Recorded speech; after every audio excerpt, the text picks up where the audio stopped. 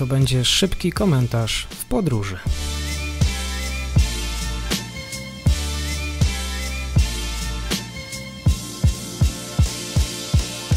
Dzień dobry Państwu, dzień dobry wszystkim słuchaczom. W kolejnym e, komentarzu w podróży zapraszam. Kirgistan. Zamknięcie wszystkich domów publicznych w kraju. W Republice Kirgiskiej, bo o niej dziś mowa, ogłoszono nakaz zamknięcia wszystkich domów publicznych od 1 grudnia 2023 roku w ramach powstrzymywania przestępczości zorganizowanej w kraju.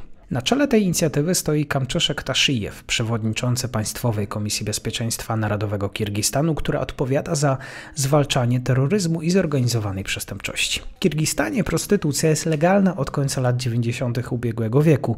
Natomiast funkcjonowanie miejsc oferujących usługi seksualne pozostaje formalnie objęte zakazem. Według oceny Taszijewa, władza od trzech dekad dawała ciche przyzwolenie na prowadzenie tego typu lokali. Taka sytuacja może być związana z wysokim poziomem korupcji, która jest bolączką kirgiskiego rządu. Deklaracja o zamknięciu wszystkich obiektów oferujących usługi seksualne padła w czwartek 30 listopada podczas przemówienia Taszijewa z okazji otwarcia nowego gmachu Departamentu Bezpieczeństwa Narodowego w mieście Bałykczy i była zwieńczeniem niedawno przeprowadzonej serii nalotów na domy publiczne. Jakie są rezultaty wspomnianej interwencji? W nocy 26 listopada w samym Biszkeku, a więc w stolicy kraju, wykryto, a zarazem zamknięto 10 lokali rozrywkowych i zatrzymano 70 młodych kobiet świadczących usługi seksualne oraz właścicieli i organizatorów tychże obiektów, które nierzadko działały pod przykrywką salonów masażu. Na rzecz działań prewencyjnych szef Państwowej Komisji Bezpieczeństwa Narodowego opublikował wizerunki zatrzymanych osób. Następnego dnia, 27 listopada, odkryto działalność elitarnych usług seksualnych. Ekskluzywna oferta była skierowana do wysoko usytuowanych osób w państwie. Jak ustalono, wśród usługobiorców znaleźli się przedstawiciele rządu oraz życia publicznego, a także ludzie biznesu. W wyniku przeprowadzonej operacji zatrzymano menadżerów lokali oraz 200 kobiet, które uczestniczyły w procederze.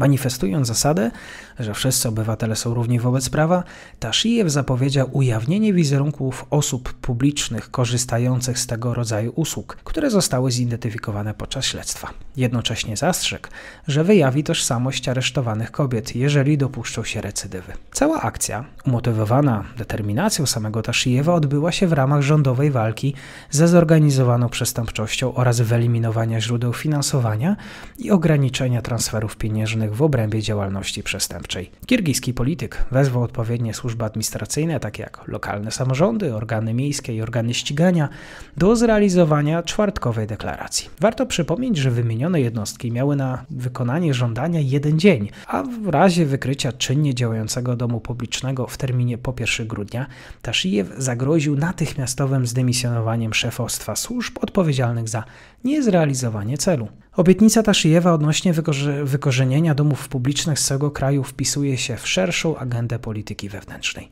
Do walki z przestępczością zorganizowaną przygotowywałem się od dwóch lat. Do 2026 roku wszystko się uspokoi, nie będzie żadnej przestępczości, powiedział Taszijew parlamentowi. Do praktyk publikowania wizerunków zatrzymanych osób odniósł się Instytut Rzecznika Praw Obywatelskich Kirgistanu, wzywając do roztropniejszej formy egzekwowania przepisów. Zasygnalizowano, że publikacja zdjęć i danych osobowych zatrzymanych jest naruszeniem ich praw. Na koniec warto dodać, że w urzędach Biszkeku uruchomiono infolinie, które przyjmują zgłoszenia o wykryciu lub podejrzeniu działalności placówek świadczących usługi seksualne. Bardzo dziękuję Państwu za dzisiejszą audycję, za to, że spędziliście te kilka minut. Współpraca tradycyjnie Patrycja Mizera.